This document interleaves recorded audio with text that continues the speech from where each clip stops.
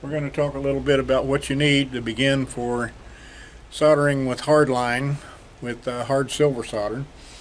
Uh, these are some of the items here that you're going to need together together before you start. You got to have some rags to clean the uh, um, mess up with. You need eye protection to protect yourself. You need a reamer. You need a flux brush.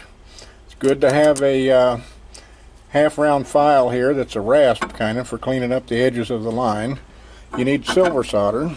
Silver solder comes mostly in rolls these days. A long time ago we used to ship it in sticks and some of us still have some of this laying around and it'll still work. Uh, but they prefer you use this stuff because it's more environmentally friendly and this is what's going to be shipped to you anyway.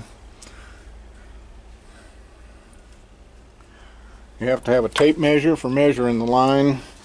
You have to have, we use naval jelly a lot of times to clean it up. You can also use uh, muriatic acid and water. If you do, you have to use baking soda and water to neutralize it afterwards. With naval jelly, all you need to do is rinse it off real good with water and dry it. Uh, the flux that you need is the silver brazing flux, which you can get just about anywhere. Usually comes with a kit white stuff you mix it with water and get it all soft and everything. We'll demonstrate this later as we do a flange. You need some leather gloves for rotating the line to prevent you from burning your hands. As you're putting on the naval jelly, it's a little bit acetic. You might want to wear some rubber gloves to keep it off your hands a little bit as you're cleaning the line. And of course you need the transmission line cutters. Uh, you need the large one for the outer and a smaller one for the inner. And you're also going to need oxyacetylene torch outfit because the uh, propane torches don't get hot enough to melt this type solder. It melts at about 1600 degrees Fahrenheit. And you're going to need a nice sturdy table to work on. And you're going to need a bucket of water to rinse everything off on. And that's what you use the rags for, is to dry it off after you've rinsed it.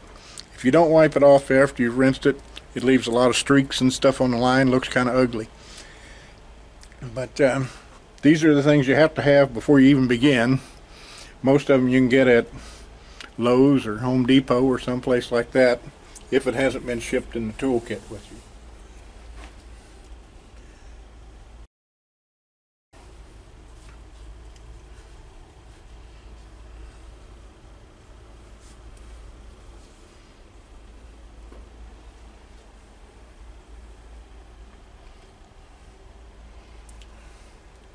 We normally supply the silver solder and the flux.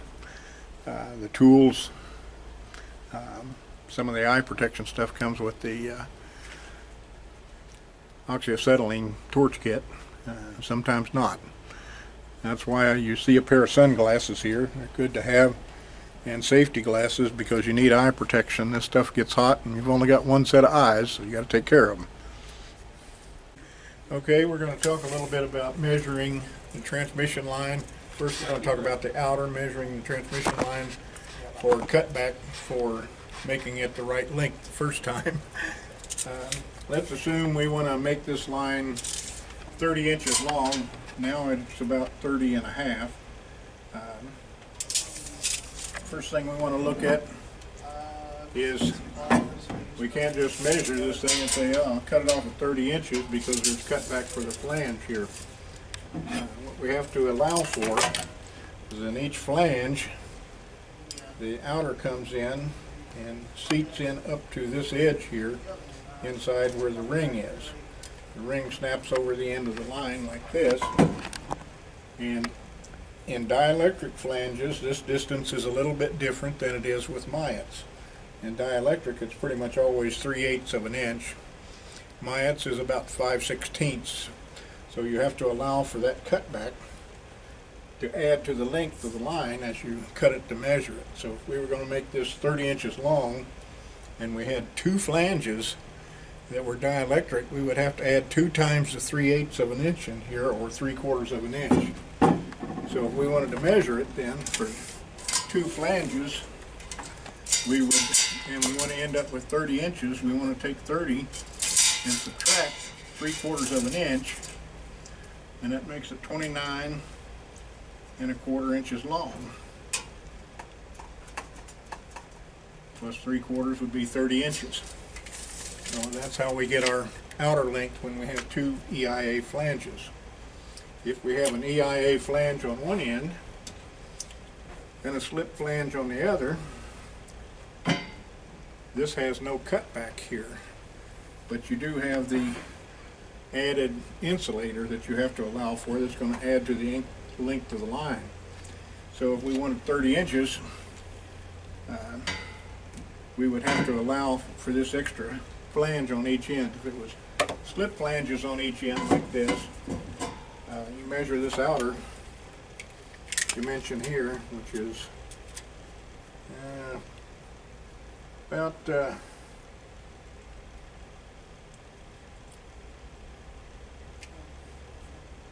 not quite a half inch, it's uh, a little bit less, more like uh,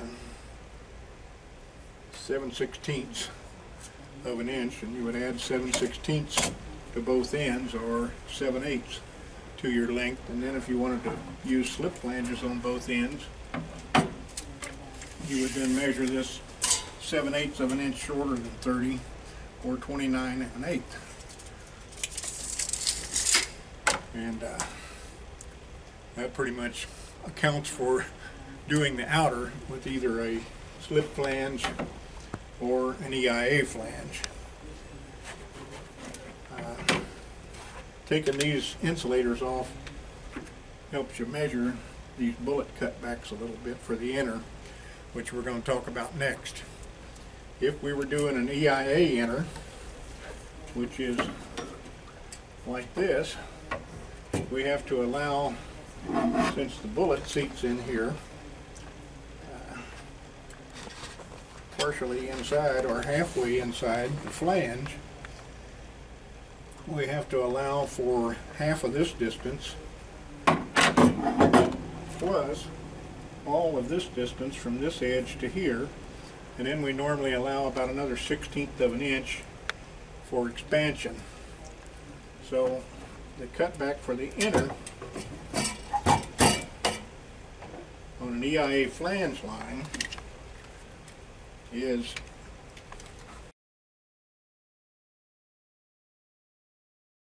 cutback for the inner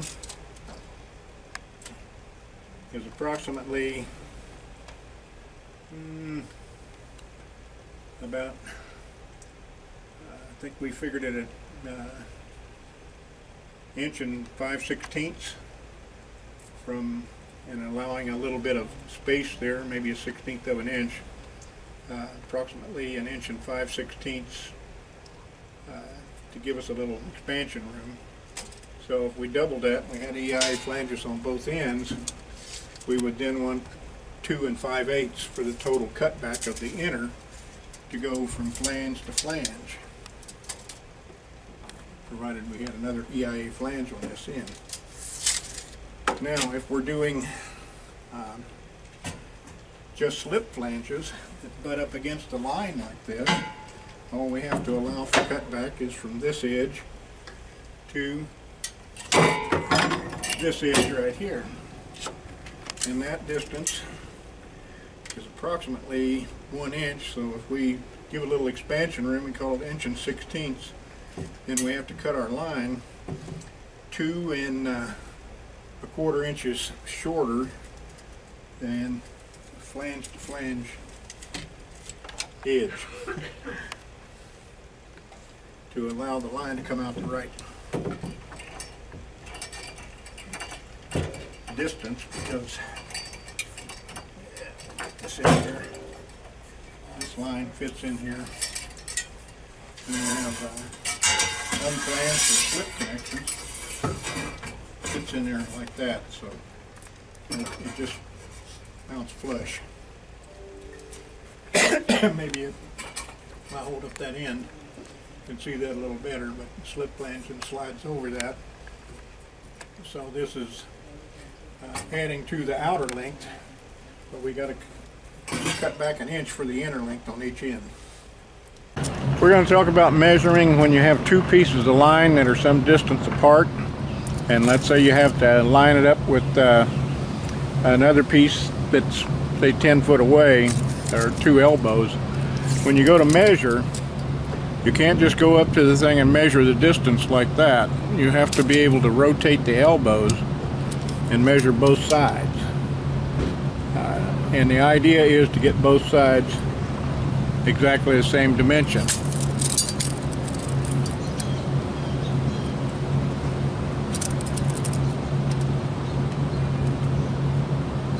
you get the idea. If you just come up here and measure one side of it, uh, you don't know what the other one is. You have to move back and forth and sometimes rotate back and forth till you get the dimension even. If you're measuring top to bottom, that doesn't really help you a whole lot because it can be higher, but the top's going to be higher too, so you'll get the same measurement if they're straight in line with each other. But to get the distance, you want to allow side to side. Now on three inch line, you also have to remember you have this, uh, on slip flanges, you have this uh, extra addition here of the bullet width, which is about 3 eighths of an inch that you have to allow for when you're measuring for the outer. Now for inner cutback on six inch lines, normally I remove the insulator. And if I want to get the cutback dimensions, I measure it from this edge to this edge. And if you have two of the same kind of flanges, two and a half inches would be the proper cutback for this particular bullet. Normally, I make this out to be, or I'm used to calling it two and five eighths, uh, which allows for expansion automatically. If you allow another 16th of an inch for each end, that gives you uh, an eighth of an inch total uh, by because you have two bullets that are two and five eighths well you have you'll have two bullets and if you allow an eighth of an inch extra here uh, you'll end up allowing uh, two and five eighths cutback for the uh, inner okay this is the drawing of a piece of transmission line that we're going to build here today demonstrate how to do flanges and to allow the cutbacks for both an unflanged end where you just have a slip flange that slides over and clamps down and for a field flange that needs to be hard soldered on. Uh, we'll be cutting this line to these dimensions and these are the dimensions that we have to allow for the outer conductor, what we're going to call the flange face here and the flange face here and we're going to build this as if it were an EIA flange joining to a slip flange so that we cover both cutback uh, considerations for this end and this end which will be different. Now these dimensions are for a 6 inch line with dielectric components. With Myat components you may have to measure and make different measurements with a three inch line, these dimensions are going to be different. Instead of 7 16ths, this will probably be 3 eighths. Uh, for three inch line, this will probably be 3 16ths cut back. Have to measure it first, okay? So without much more ado, we're going to show the parts that we have laid out here to uh, make transmission line. Most items will be needed some items you can do without. I would encourage that you use eye protection. Uh, protect your eyes both from the light and from uh, what could be a hot metal splash. Uh, when we're using cleanup, we're going to use 3M uh, Scotch-Brite to clean the line both before and afterwards, along with naval jelly uh, I would like to point out that I said 3M Scotch-Brite for a reason. The cheap Chinese stuff does not work well. It isn't rough enough, it isn't coarse enough, and it doesn't clean the line off as well. So if you got to buy, don't scrimp. Uh, get 3M Scotch-Brite only because it works better than anything else out there. Uh, we're going to be using uh, hard line solder. Hard solder runs at about uh, melts at about 1600 degrees or about three times the temperature of the soft solder. Um, So it's, we need an oxygen acetylene torch to do that. And we're going to get into the setup of the oxygen acetylene torch fairly soon here. Uh, we're also going to talk a little bit about the uh, type of equipment that you need to hold the line in place. A workmate, pretty handy for short pieces. If you got two of them, you're a lot better off. uh, this is an old one that I brought in from home. Uh, for cutting the line, this works pretty well. For soldering flanges on, it helps to have two of these roller assemblies made up and they don't have to be welded like this one is. They can just be bolted together and set them on a, a uh, workmate clamp them like this.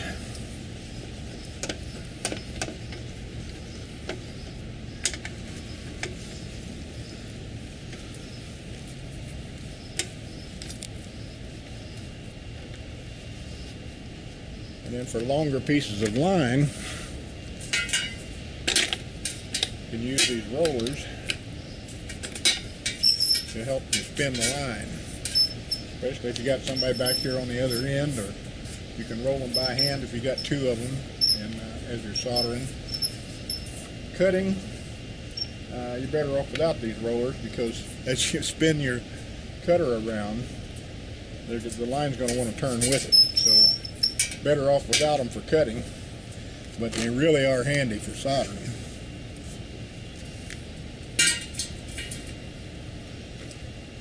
So without much further ado, we're going to take this back out and set up for measuring the piece of line that we need to make to the dimensions that we have on that paper. Okay, we've previously determined that our outer line cut to make this piece of line needs to be 30 inches uh, flange to flange face. So if we subtract the 3 eighths of an inch for the cut back here that is going to be in the flange and the um, 7 16ths that's going to be added at the end of the line here for the bullet then we come up with 29 and 3 16ths inch total length that we need for the transmission line. I'd like to point out again that 3 8 length measurement comes from this edge to this edge which uh, you know we can kind of demonstrate that here.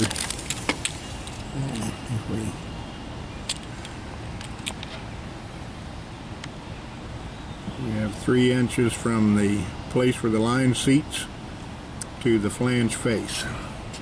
And we have to allow for that extra length. Okay so 29 and 3 sixteenths. We come over here and if we measure this, I like to mark it on both sides of the tape measure. And the reason for doing this is so that we can check our progress as we go around the line and make sure we're cutting it off square. if it isn't cut off square, it isn't going to work. So I usually do this in about four places. We've pre-done this here and marked it already.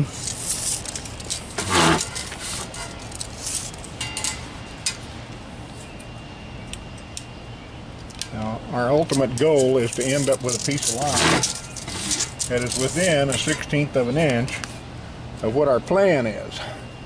Because any farther out than that, or if it's out of square, it's not going to work. this line is pretty hard and it doesn't stretch. okay, we're going to line up our cutter here on our line, tighten it down.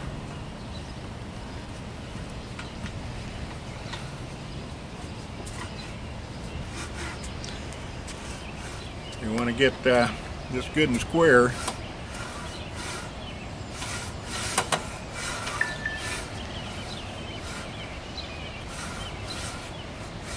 ultimate goal is to have it come back around and line up with the very line we started with. And uh, you want to do that early. You don't want to work it back and forth too much and then you want to come all the way around. And I found that it works better to follow, let the uh, cutter follow the rollers around rather than the other way around where the roller leads. As you go around, you have to tighten up a little bit each time, and it takes a little while to cut through a six-inch piece of line because it's about a tenth of an inch thick. At least a sixteenth anyway.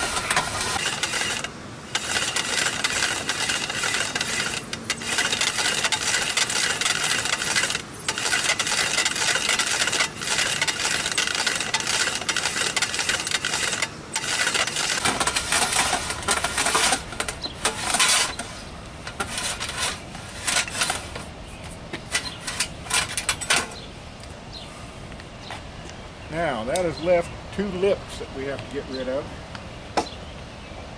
or ridges. You have a ridge on the inside, and you have a little ridge on the outside. That ridge on the outside will prevent your flange from sliding over it easy unless you file it off.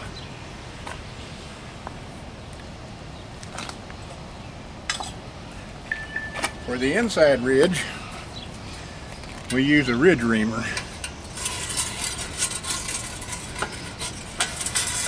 You can buy these at Home Depot or Lowe's.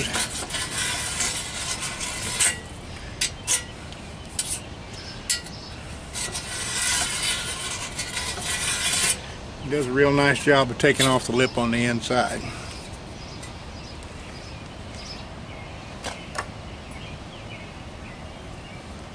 For the outside, a half round file is a good thing to have in your toolbox for. You can also do the inside of the line with the half round and the flat side.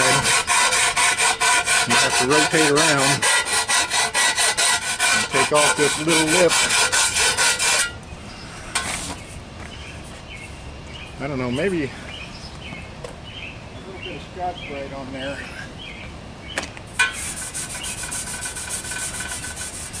Yeah you really can't see that lip very well but it, believe me, it's there.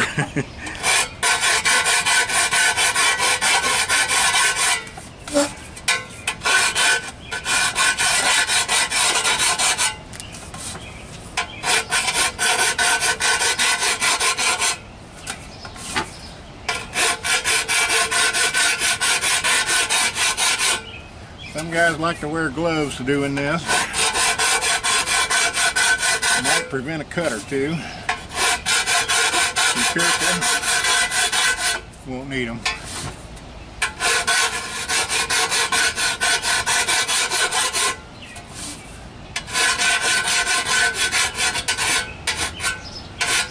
Not used to working with tools, I highly recommend it though. Now we're going to clean the edge up so that we can solder the flange on. That's where the Scotch-Brite comes in to shine the line up. It only needs to be cleaned about a half an inch back, but I usually end up cleaning it about an inch.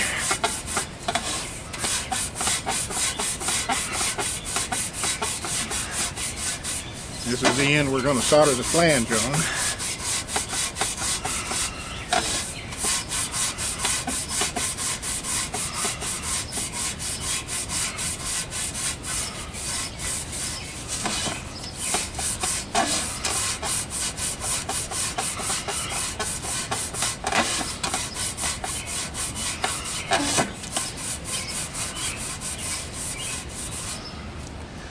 there we have that.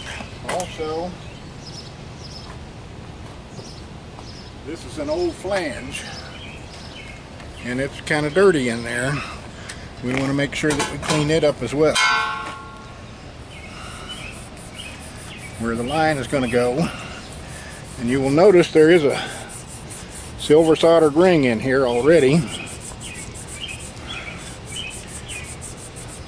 That's going to help us out when we go to soldering the line.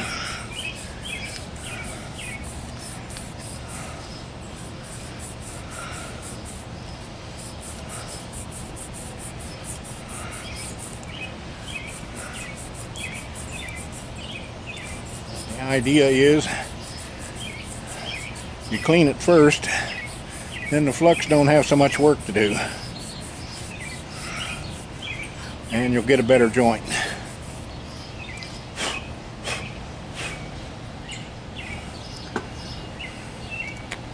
Okay. Now we can dry fit that first. And we want to look and make sure that we're good and square all the way around. If I cut was square, it should be pretty decent. This one is. Okay. Next comes the flux.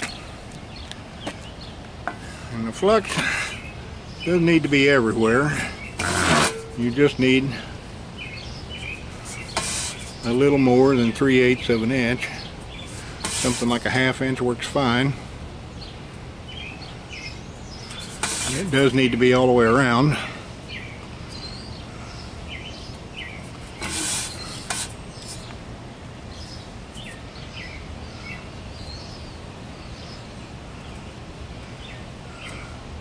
friend of mine once told me solder runs better in the presence of flux. And he was right. He got flux all over that flange. And guess where the solder went?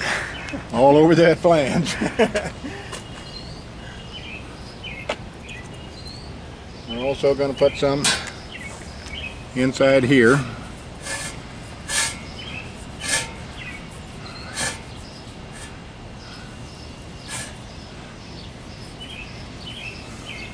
And we don't want to get a bunch of it on the outside because we don't need solder there.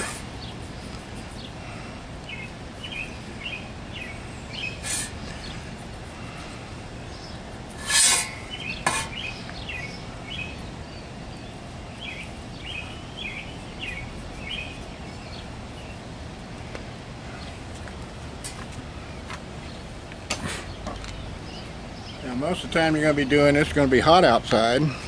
You don't want to wait till this stuff dries because it's almost impossible to put it on there when it dries hard. Okay. Now that flange is ready to solder on. Uh, next we're going to move to our torch. We could solder it horizontally if we had it able to roll it. So for now, we're going to talk about setting up the gauges. This being a small set, we got them up on the table here. And the first thing we want to set up is the oxygen. We'll open up the valve here.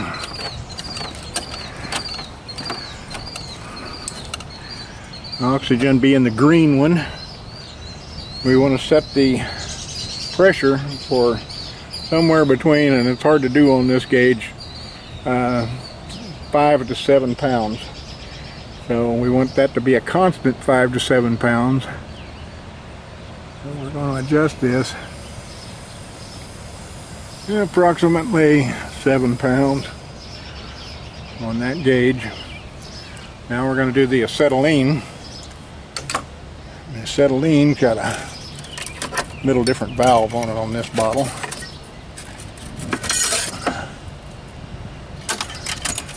Acetylene normally you just crack open. I would like to say that about the acetylene, uh, you don't ever want to lay these bottles down and leave them horizontal for any length of time because the gas in there is absorbed by another chemical or rock, if you will, acetone.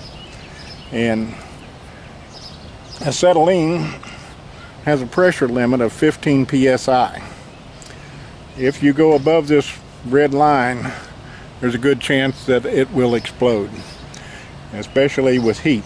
So uh, we want to run about three pounds of acetylene on here.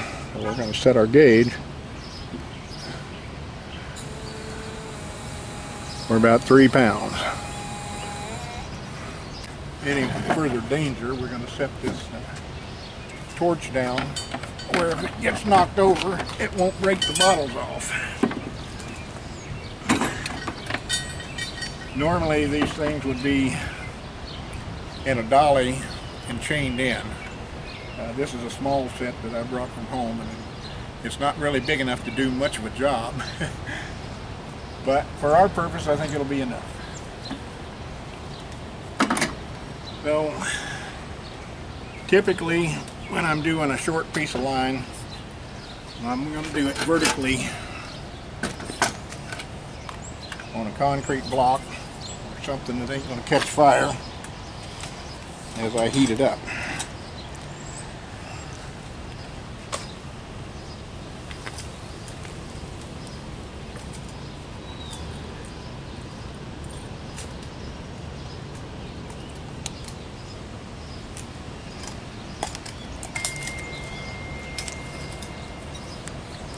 This is what the solder looks like that you're going to get. Generally going to come in a little plastic thing like that. And we need to use some just to get things started. I usually straighten it out a little bit so I've got something I can feed with.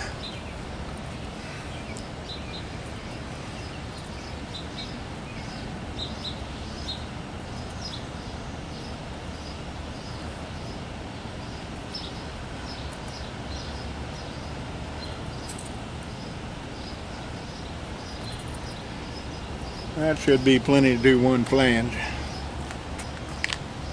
When we get done with our flange, uh, we're going to use this water to cool it off a little bit. Uh, this pipe is going to be very hot. As we heat the uh, line up, I'm going to try to keep the heat mostly on the pipe and let it bounce off and hit the flange. Uh, the pipe is a lot bigger piece of metal it's going to take a lot more heat on the pipe than it will on the flange. So if you're just heating the flange, chances are you'll warp it before you ever get the solder to run. So it's best to keep a little heat fairly far up the pipe to start with. Uh, I'm going to try to do this with two pair of glasses here. so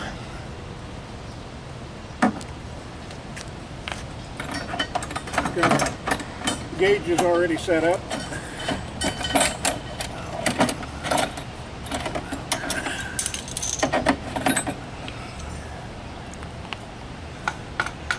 Another thing I'd like to point out before we get started on this torch set is that these tips have seals in here. And you can almost always, on a Victor type, pull those back and inspect those seals to make sure that they're in good shape before you uh, screw it onto there. Because the seal don't ain't good, the torch ain't gonna work right. Turn on the gas.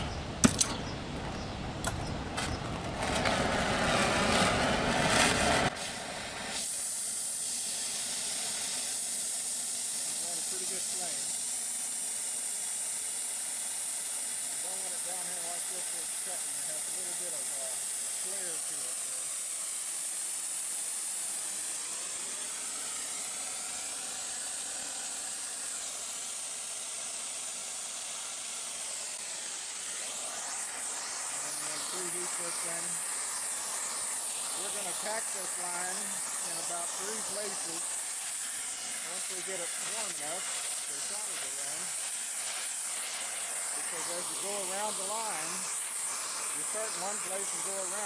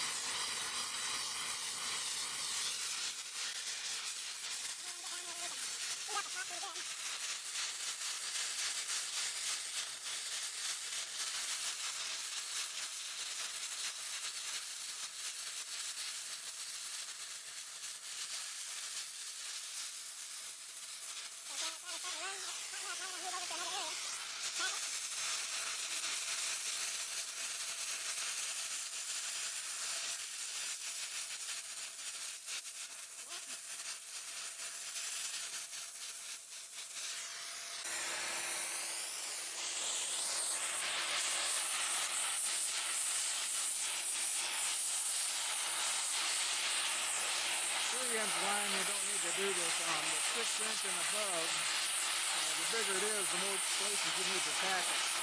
If you're doing a 10 inch piece of line and you don't tack it, you're going to end up with a quarter inch gap down here in this track. And that's not a guess.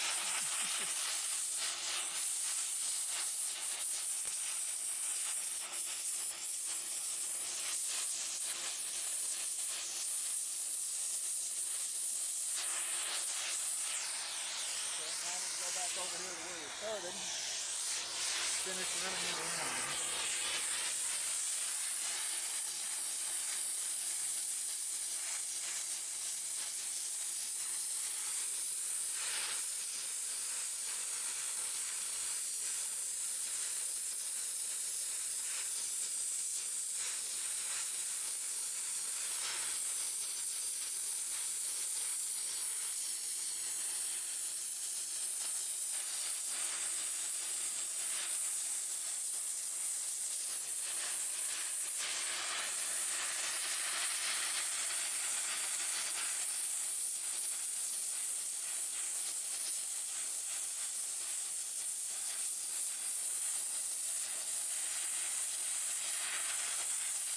I may be putting more on here than I really need because my eyes ain't as good as they used to especially up close. And a lot of times you can see that little solder ring running around in there. That's really all that's necessary. But I like to put a little extra on there.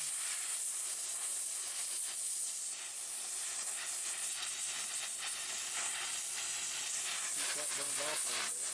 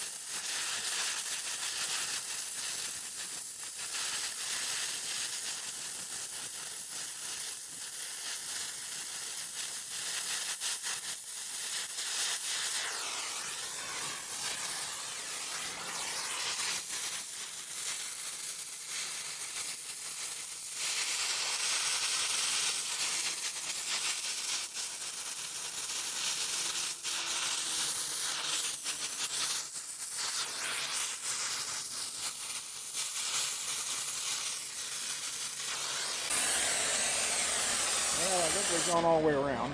Let this cool naturally, or we can dunk it in water a little bit. And you've got to grab it pretty far up because that pipe's going to be damn hot down here. And sink it a little bit at a time.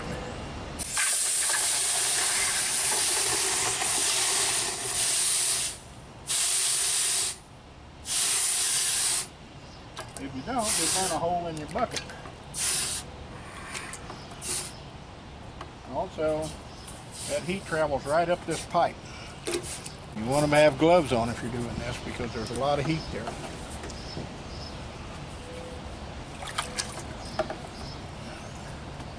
We're going to let that cool a little bit. I'm going to speed the process a little bit by um, running some water up the sides of this pipe. See, it's still plenty hot.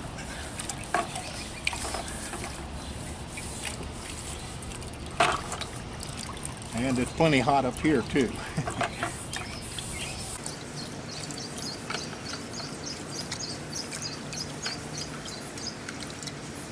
At this point in time, the other end's probably cooler than this end.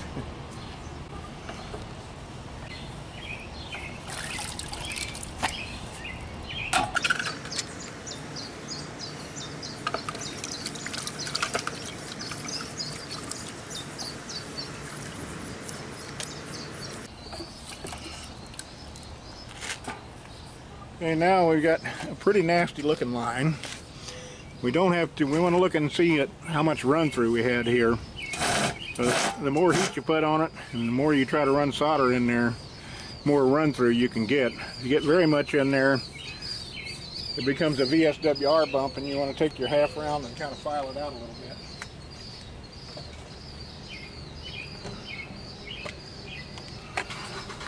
Which we will do.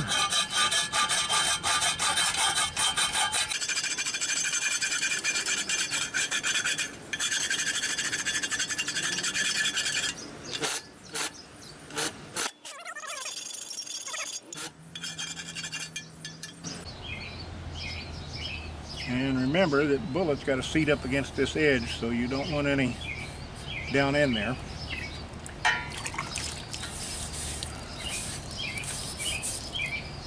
Now, now comes the naval jelly.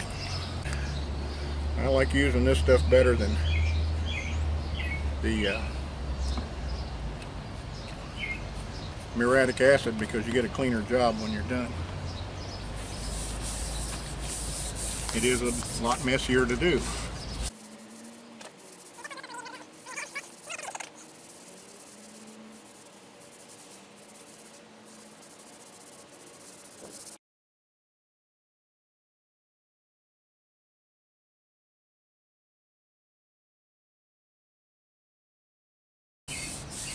As you're doing this, you want to be inspecting this so that you don't have any air gaps in there. Uh, a lot of times you have air gaps, you might be in a place where you have to put your line into a pressurized situation. If you have air gaps in there, you got a pretty good chance of leaking air. That won't be good. I should have pointed out, and meant to point out, before you start to cut the line, you want to examine it and make sure there's no dents or dings in it anywhere because the worst thing you can do is go to all this work and then have a dented line.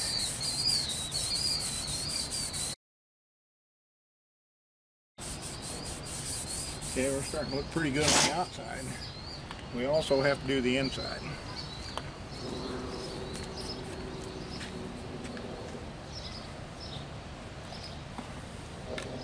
at least where we discolored it anyway. And we want to make sure we get this flange face because this little lip here is what makes the ground. This little small ridge here uh, makes the ground connection between flanges.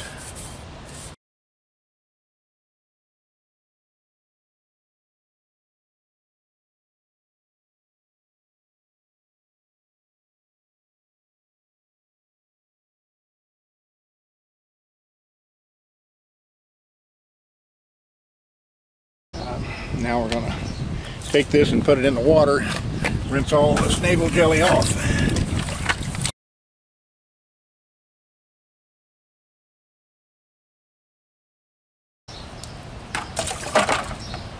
I'm to do something, wipe this off a little bit, because I don't want that getting on there again, messing up my nice finish. when you get that up out of there, you want to dry it off. Or quit running water on it, whatever you, however you're cleaning it. Otherwise, you'll end up with all these streaks.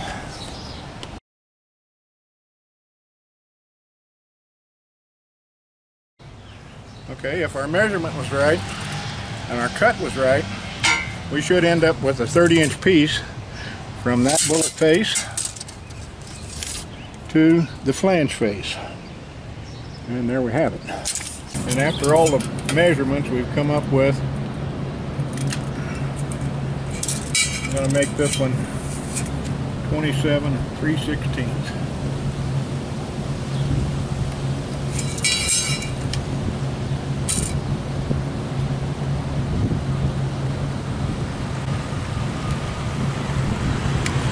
One of the important things about all of this is I usually like to make a little drawing like that for every piece of line that I'm going to cut because that way you get the idea of what all is involved in every one. and it gives you an opportunity to check for mistakes. So now we have this one marked where we're going to cut it. We're going to take it over here and put it on our cutting device. You need to consider on the job you're going out on what size cutters you got to have. This is about the minimum size or maximum maximum size cutter you could use to cut the inner for six inch. Otherwise I'd normally want about a three inch cutter.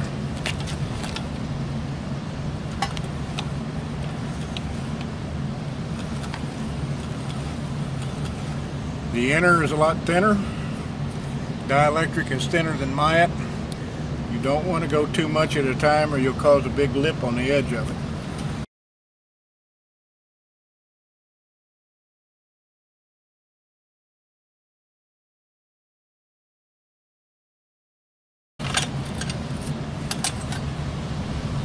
And once again we have a really sharp edge in here we have to take off.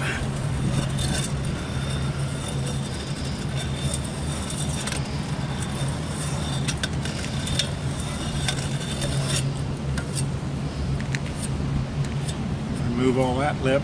There's going to be a lip out here and we want to get that taken off too if for no other reason than to save our hands from getting cut handling it.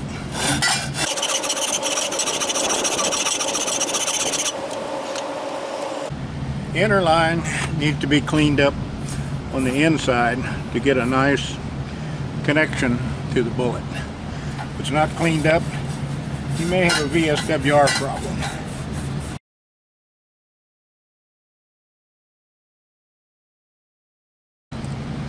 Check the line for being clean. I want to get all the copper filings and everything out. Generally, when we don't have an insulator in the middle of the line, we can run a rag through there. This one uh, has an insulator in it. You can't see all the way through it. Just want to make sure it's cleaned up.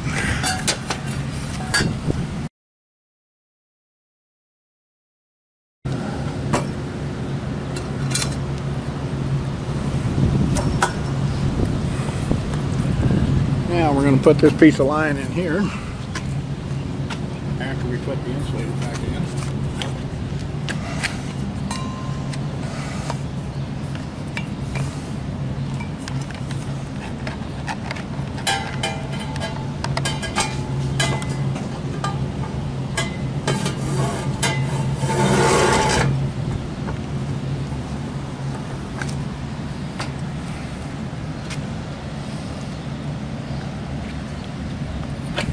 should be